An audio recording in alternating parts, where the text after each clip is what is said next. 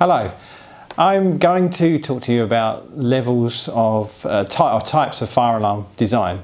So we're going to talk about manual systems and life safety systems. So starting from the bottom is a manual fire alarm system. Now a manual fire alarm system will include uh, call points which are uh, located by every exit and at the top of stairs um, and if you've got a very big premises then you would put uh, some more call points in subject to the certain rules and sounders as well as uh, connected to your fire alarm. So it's a manual operation with sounders uh, distributed around your building so that you've got um, a, a, decent level of audibility which is measured at 65 decibels. So there's a manual system. So when you move on from a manual system, then you generally you talk about life safety. There are other standards that are available um, which we don't come across very often in the commercial world. But the, the life safety standard is the one I'm going to explain. So life safety, so that's the L type, starts at 5 and then works its way up to 1.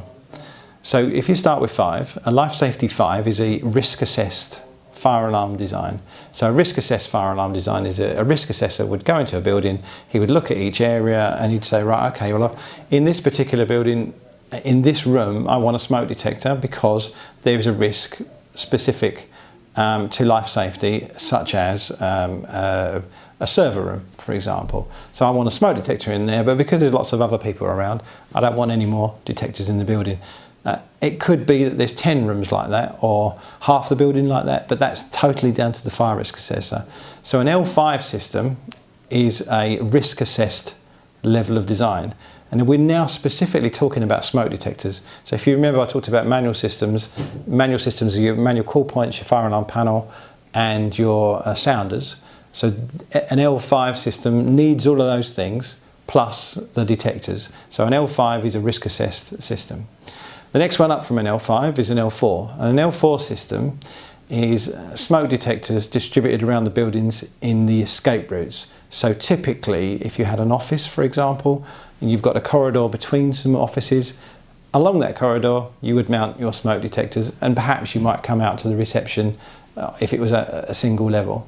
Um, if you've got stairs to go up to the second level, then you'd have smoke detectors on the stairs and then the corridor would have smoke detectors. So for an L4 system, a life safety L4 system, you have smoke detectors along the escape routes. So that's pretty simple uh, and, and that's pretty minimal from a life safety point of view. The next one up from an L4 is an L3. And an L3 is a, is a little bit more uh, uh, expansive as far as what it covers. Uh, it covers the escape routes, exactly the same as an L4 as I've just described. But the L3 asks you to, to put smoke detectors in the rooms that open onto the corridor. So you're walking down the corridor, that room opens to the corridor, so you put a smoke detector in that room, and the room opposite opens to the corridor, so you put a smoke detector in that room.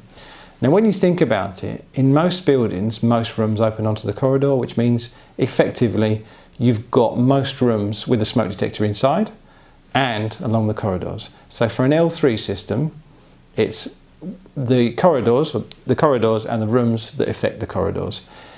So that's a life safety 3. The next one up on the list is L2.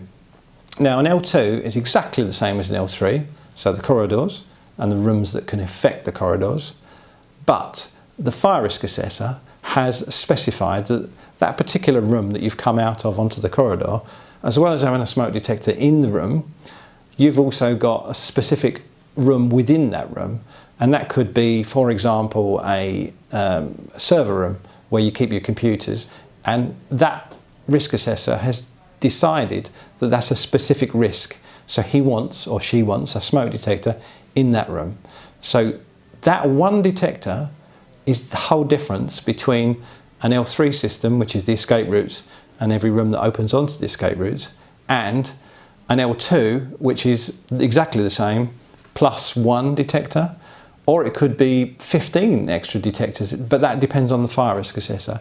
So on your certificate, you would have this is an L2 system, and the reason it's L2 is room number one, which is this uh, fire risk assessed uh, uh, computer room. Uh, room number two, it's a boiler room, which is nowhere near the escape routes and doesn't affect the escape routes. So, and it could go on, but that the fire risk assessor makes that choice. So that's an L2, which is a life safety 2 system. An L1 system is the top of the tree, um, effectively the most expensive when it comes to the fire alarm, and the, by far the easiest to design. Now, an L1 system is every single room in the building has a smoke detector, and a room is defined as anything over a metre square. Now, when you think of a metre square, so a metre is that, um, possibly by that, so that's a big cupboard. So effectively, You've got all your corridors covered, you've got all the rooms that affect the corridor, you've got all the rooms within the rooms, and you've got store cupboards. You'll have your boiler room, you'll have uh, computer rooms, you'll have your lift motor rooms.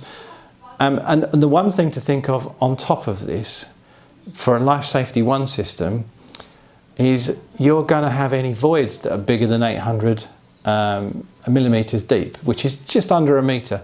Now that does affect the other systems. So an L, anything with the, the basic rule is if you've got a smoke detector below the space and you've got a void, you put a smoke detector in it. Um, but an L1 system is effectively every space that you can get into that's bigger than a metre squared, um, and that's an L1 system. So thank you very much. And um, if you'd like to know a little bit more about this, we've created a fact sheet, um, and there should be a link uh, for you to follow to find out more. Thank you.